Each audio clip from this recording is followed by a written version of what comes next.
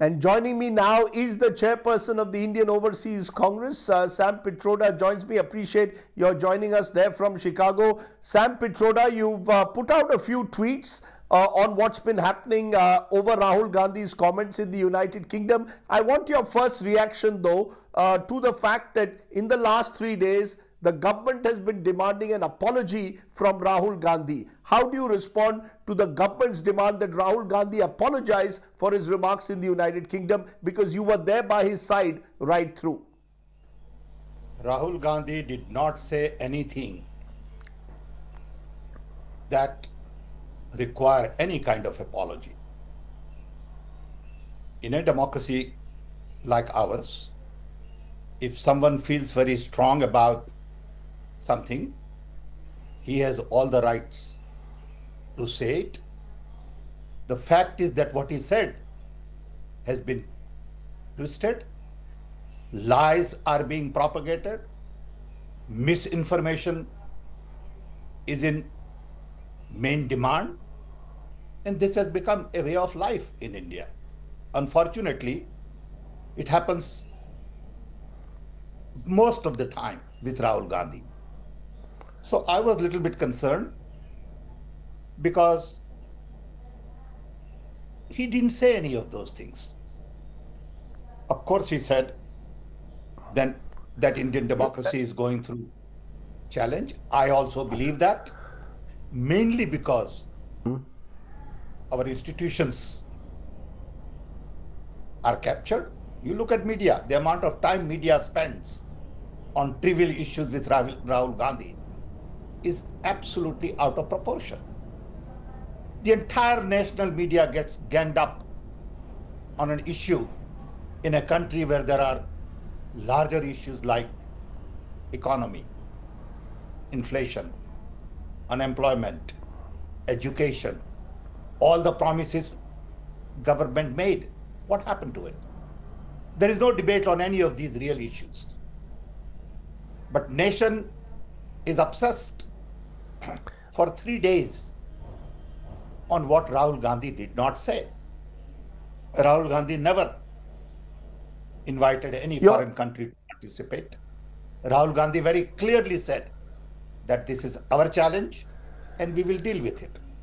So, what is the sense in lying, twisting? I just don't get it.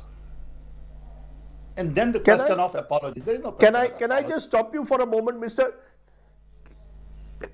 Can I just stop you for a moment because uh, you know there were a few remarks of Rahul Gandhi that raised a controversy on this so-called foreign intervention. He says in a in an address in Hounslow to the Indian diaspora.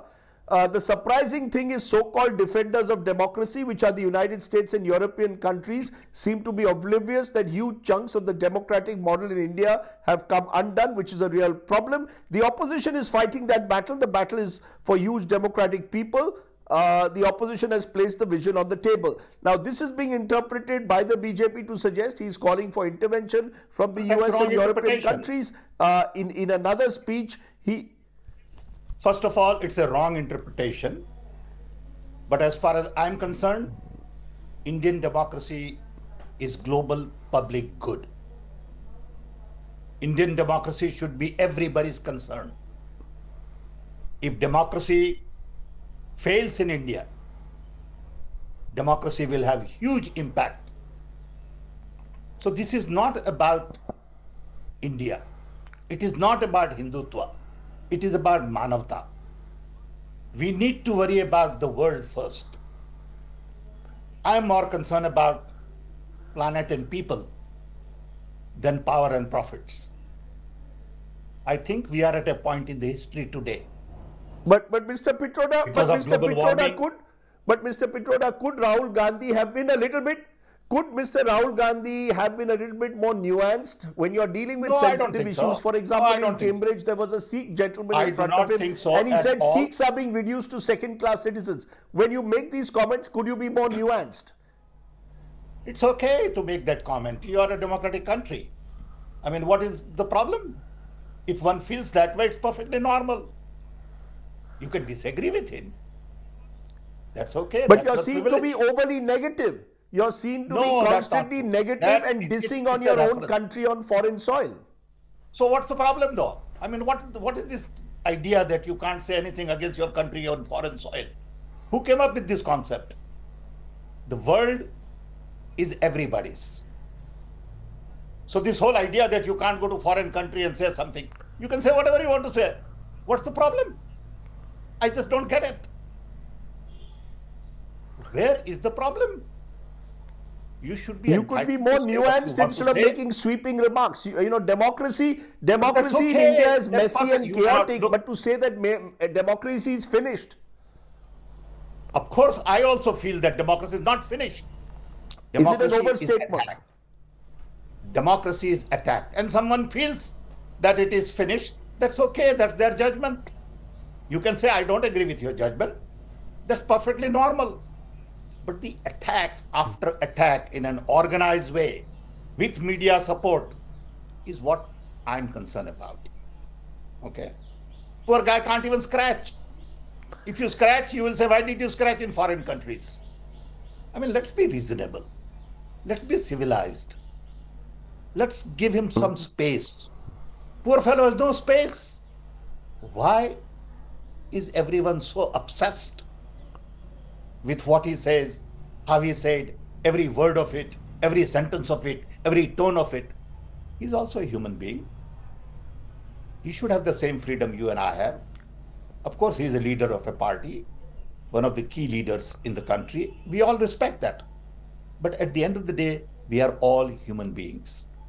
I also say in America about India. That doesn't mean I'm against India. I'm not nationalist. I say things about America, being in America. Nobody has ever asked me anything. I've said lots of negative things about America. In America, abroad, I am a human being first. I'm more concerned about humanity than about nationality.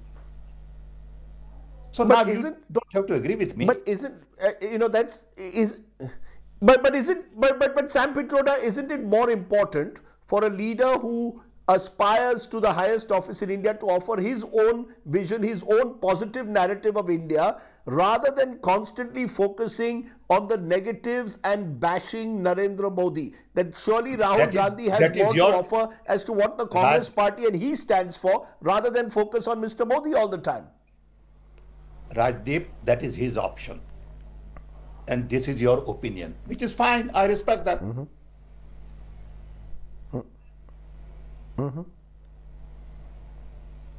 But you know, uh, the point which I'm coming to, Sam Pitroda, is Rahul Gandhi uh, goes to uh, uh, the United Kingdom and makes observations which at times can be challenged. For example, when he says, "I'm That's not allowed okay, to so speak at all in it. That- those Parliament," he just gave a one-hour speech on the. Uh, uh, No, Rajdeep, the observation can be challenged. so, so what you're So we saying, a what you're we saying in a a sensible democracy, uh, let, let me understand what you're saying.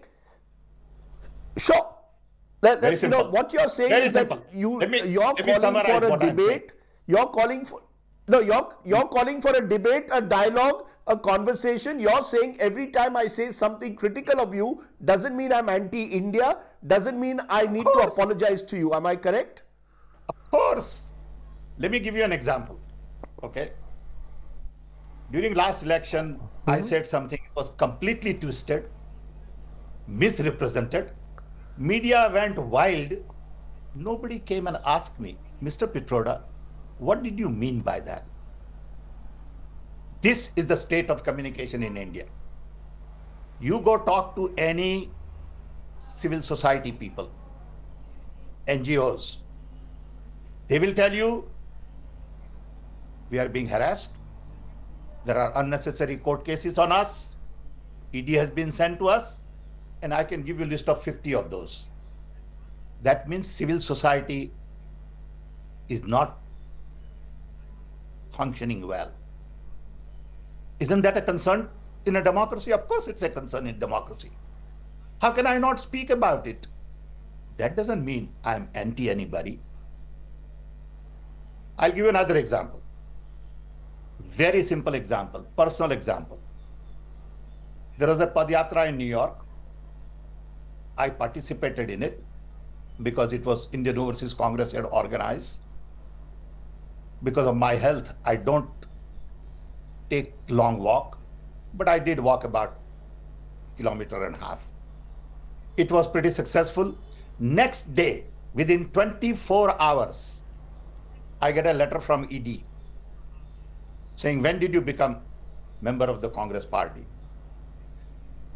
What is your designation? I wrote to them. I said, why do you have to know that? Immediately I got a response back saying, according to law 7937 dash dash dash dash whatever. I said, look, I don't understand what you're saying. It is basically intimidation, harassment. You have to be at the other end to really realize what happens. And when these kinds of things go on, Mr. Pitroda. You, mm-hmm. you think that the democracy. Uh, uh, Mr. Pitroda, the, the point that I'm coming at, you know, I, I, I would agree that Rahul Gandhi has every right to express his views. But when you express your views and you're a person of stature, you have to be careful of every word because every word will be picked up by someone or the other. That's so as I said, right. when you okay, refer in the audience the to Sikhs day, being uh, becoming second-class community, there will be a backlash. That we will see. The point is, we all have right to say how we feel mm-hmm. in a democracy. Don't put your interpretation as the only interpretation.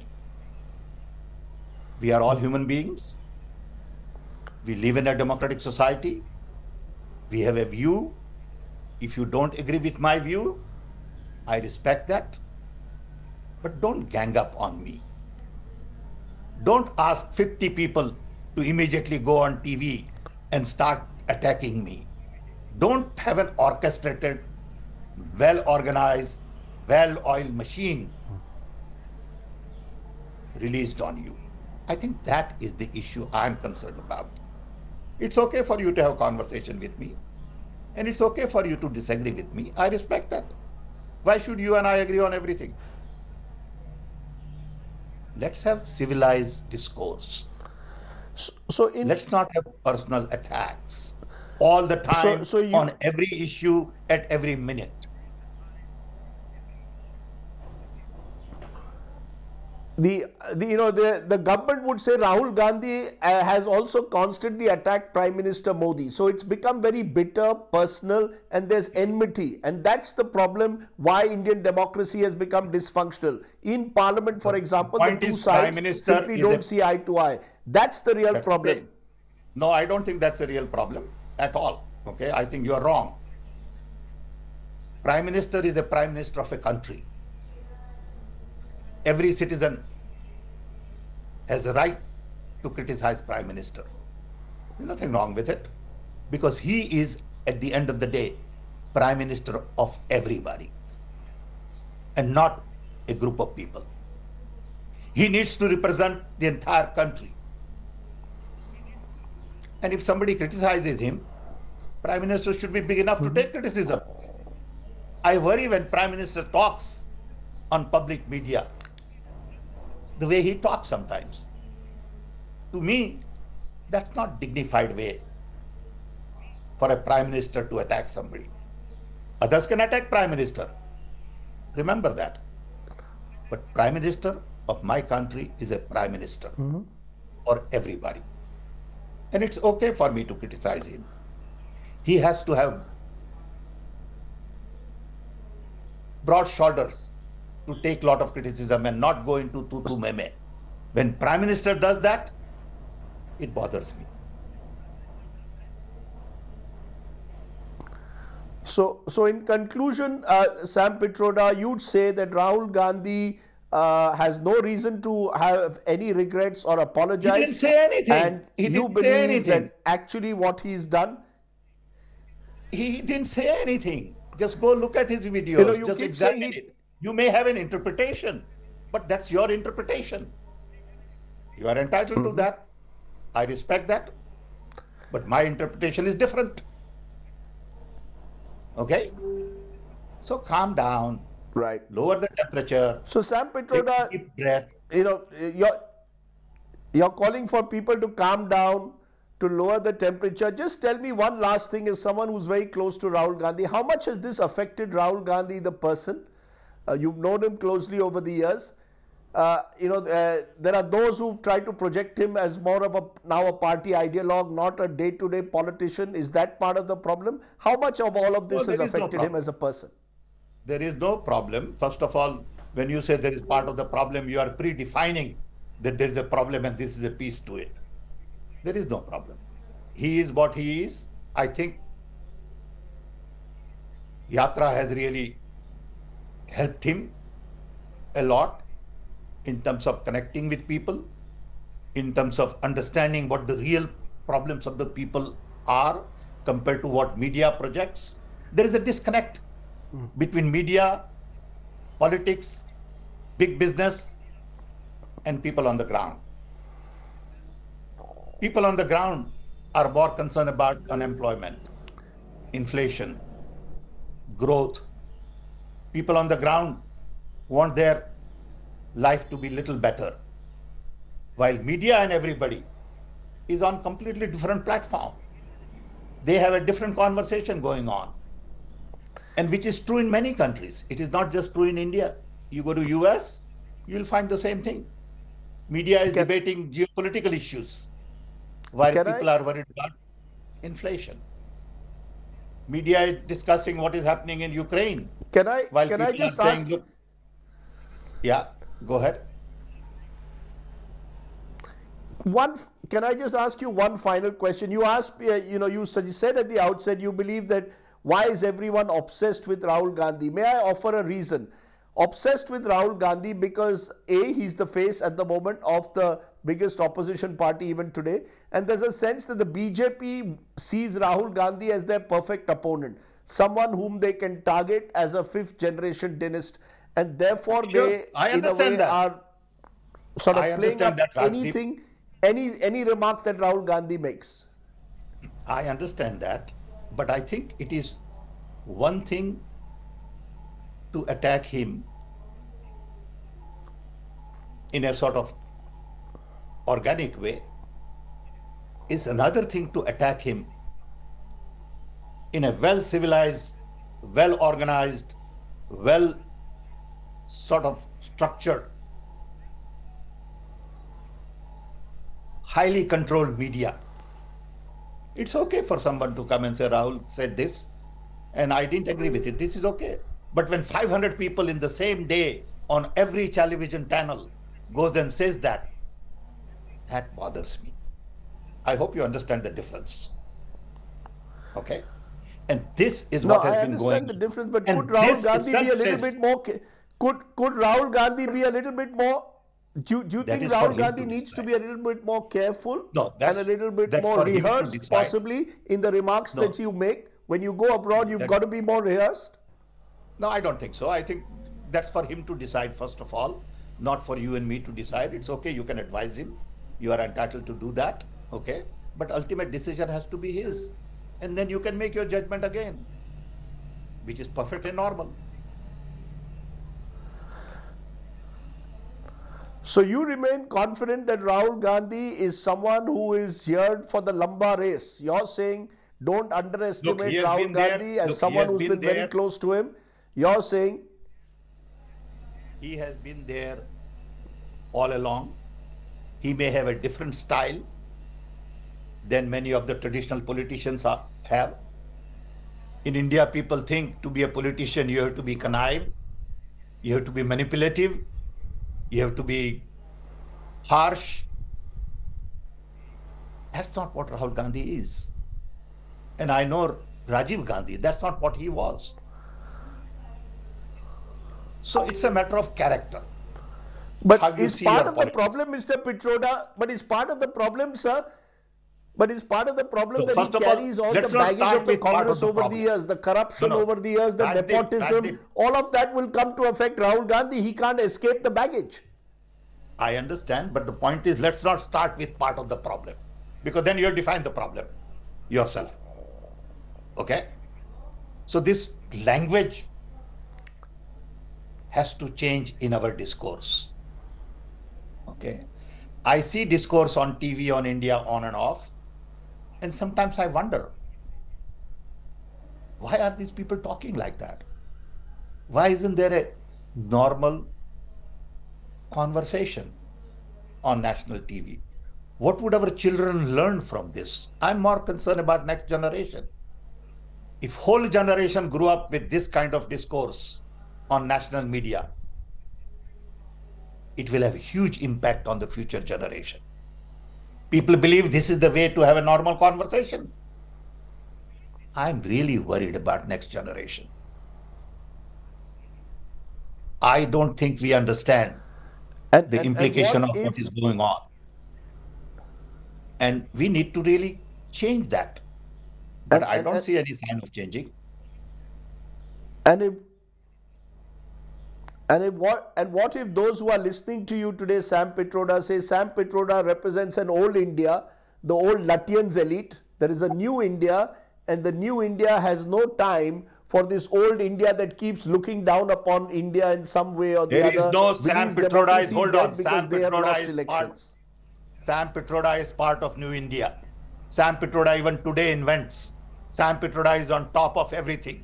Just because I am 80, don't think that I am old. I spend at least 16 hours a day. Now, I'm not saying in terms of day. age. I'm I'm not saying in terms No, of age. so the old my ideas. Lutyens Don't elite. talk Sir, I didn't age. say in terms of age. I No, said no. old automatically elite versus that. a new India. I didn't Rajdeep, talk about your age, sir. No, sir, not at all. Not at all. Okay. The So, argument which is being made, I'll India. just a minute. The argument which India? is being made is that there is a What- Lutyens elite which has not adjusted to the Modified India. No, what I'm saying is modified India has to be defined in terms of employment, in terms of growth, in terms of democracy, human rights. All of these issues are important. How do you tell me that I'm old India? Just tell me why why did you say that? What gave you right to say that? I'll tell you why. I'll tell you why. That's the that's the comment the the commentary which I've been listening to in recent times is that the that Rahul Gandhi, those around forget him represent the talking India of privilege of the past. No, no, no. You are this is a talking new about India. Sam Pitroda. No, you are talking about Sam Pitroda right now, not Rahul Gandhi. Mm-hmm. You said Sam Pitroda. Okay, this is the kind of discourse, Yes. okay, that we run into problem with. You said Sam Pitroda represents old politics. You didn't say Rahul Gandhi. What Mm-hmm. what brought to that brought you to that conclusion? I want to understand. How did you come to the conclusion that Sam Pitroda is old politics?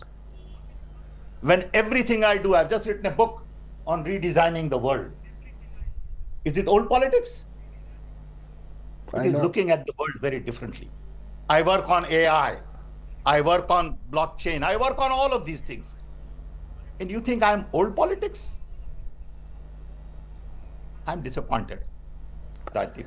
So is that is that part of the is that part of the problem? Is that part of the problem? I use the word again because Sam No, no, Pitroda, is all no of us, I'm all just- of us no, no, are now looking about at the world me. in very black and No. just a minute, sir. In black and white polarized terms, the world has become polarized, and we are trying to fit people into particular buckets, and that's the problem. Which is why there is no dialogue, No, no, no, conversation, the and the problem- no, the controversy over problem Rahul is- Gandhi reflects that. No, the problem is that the world needs to be redesigned.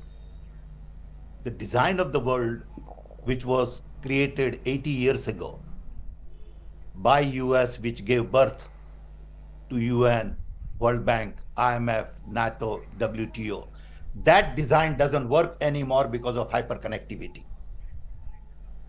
Hyperconnectivity, which is supposed to connect us, is basically disconnecting us. Hyperconnectivity, which is supposed to mm-hmm. enhance democracy, is hurting democracy. Hyperconnectivity that is supposed to change governance, decentralize, is mm-hmm. centralizing governance. These are the issues of concern to me.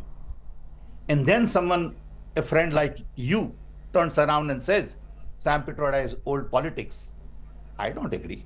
But you have you are entitled to say it. I have no quarrel. Okay, you are entitled to say that. No, you because that's your view. No, I think But you. I, I think got, you responded. I got, I got you worried. and and you have every right.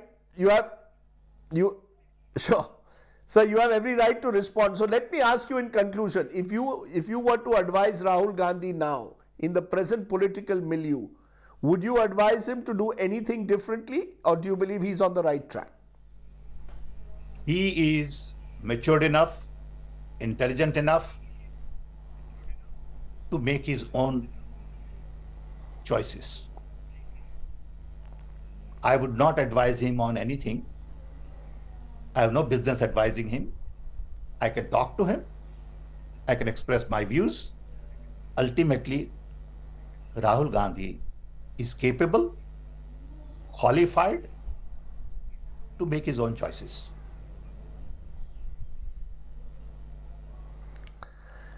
And one final question: How does Sam Pitroda keep himself 80 years young? Sam Pitroda likes to talk to friends like you. Sam Pitroda likes to work. I have no other hobbies. I don't go golf. I don't do anything. I do what I love to do, which is work. And I am privileged to have many friends who make make me feel good. And I must tell you, you're also one of those. I admire what you do, and Okay. you are my friend, and I respect what you do. And you and I can disagree on issues. That doesn't have anything to do with our friendship. Thank you. Sam Pitroda, as always, as I said, pleasure talking to you. Thank you so much you for the joining me there from Chicago this morning in Chicago, evening in India. Thank you. Thank you.